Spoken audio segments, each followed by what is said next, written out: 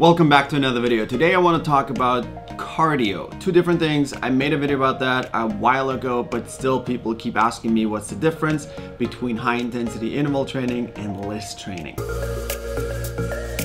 Let's talk about LISS training. LISS stands for low impact steady state cardio. It involves um, a repetitive movement for a very long period of time. For example, you run on a treadmill for 30 minutes and you want to keep your heart rate at 40 to 60% of your max. Now, HIIT. HIIT stands for high intensity interval training. This involves performing high intensity activities um, at 95% of your maximum heart rate. Now that we know the difference between those two, I want to mention that both of them help increase your cardiovascular endurance. This is usually measured by VO2 max, which I will talk about later. Why wait? Let's just talk about it right now. VO2 max is basically the ability to distribute oxygen and use oxygen as a use uh, as a form of energy. Also important to know is that there is a difference between anaerobic and aerobic training.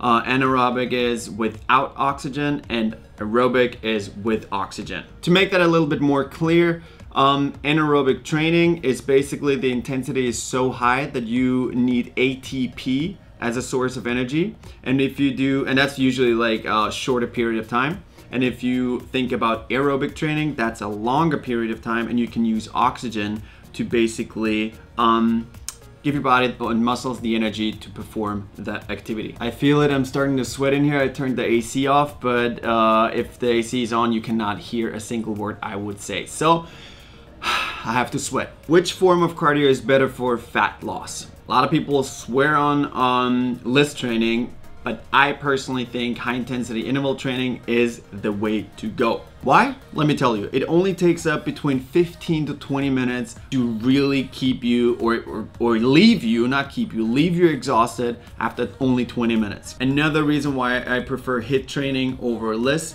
is because it um, elevates your metabolism for up to or between 12 to 24 hours after your session. So you basically do a 20 minute workout and elevate your metabolism to like between 12 to 24 hours. I mean, that's a pretty good deal, right? Which one is better for fat loss while building muscle mass?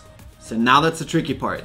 I just said that I prefer HIIT training, but if it comes to building muscle mass, I go back and do LISS training. High intensity interval training uses up a lot of energy and if you want to build muscle mass you know you have to eat those calories and you have to be in a surplus to like gain muscle mass if you throw in too many HIIT sessions you might burn way too many calories and you won't gain muscle mass so if you want to build muscle mass you want to be in a surplus right this is what I burn, this is how much I eat. I'm talking about calories. So now if I throw in another HIIT session, it gets a little closer, so I need to eat more. So it's counterproductive. So the answer is LISS training. If you want to build muscle mass, but keeping your body fat percentage low, throw in one or two LISS uh, sessions a week between 30 and 60 minutes and you're good to go. Which one's better to improve your VO2 max?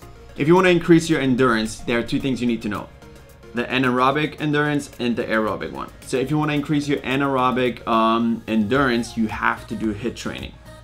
On the other hand, if you want to increase your aerobic endurance, you can do both. You can do LISS training or HIIT training. There's so many reasons why people do cardio, but I personally love the fact that if you increase your VO2 max, you can perform better in your usual like bodybuilding, you know, muscle mass training routine. Why am I talking about endurance all the time? Why is it so important to know the difference between anaerobic and aerobic endurance?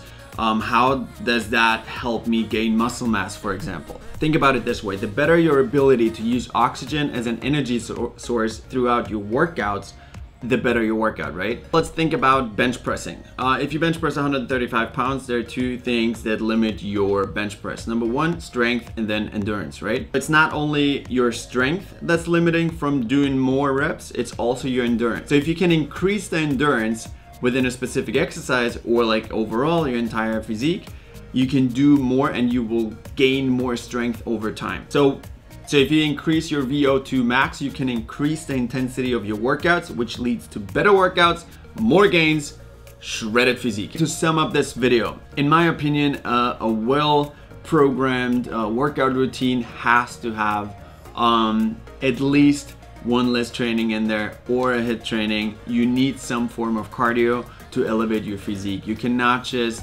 um, you know, do your bench press and your squats for like months without cardio. Because at some point you will plateau and if you increase some cardio you might be able to push a little harder over here which will increase your performance in whatever exercise it is. But to be healthy overall my recommendation is to have at least one LISS session a week and depending on your goals have like two HIIT sessions in there. And yeah. Or obviously if you're an endurance athlete you need more LISS sessions in there than high intensity interval training. If you're into fitness and you just want to look better I would suggest one LISS training two HIIT sessions and you're good to go on top of your uh, normal bodybuilding routine. All right guys this is it for today's video. If you are interested in some HIIT training but you don't know how to program that. I have uh, a workout plan on my website bodybybartl.com. It's a 60 day body weight workout plan and all of the workouts are HIIT sessions. They're between 10 to 25 minutes long and uh, they change every single day. If you want to lose fat fast, get that workout plan in 60 days. I promise you, you will lose a lot of weight. All right, guys, that's it for today. Um, thank you so much for watching. Don't forget to subscribe and leave a comment, and I'll see you next time. Thank.